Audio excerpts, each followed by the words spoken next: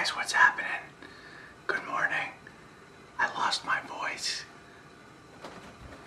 I was doing some primal scream therapy and lost my voice.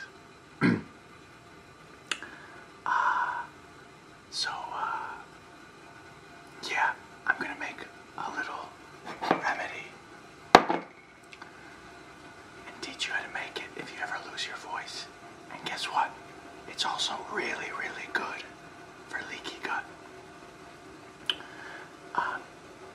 this is how my this is how my voice sounds if I talk normally.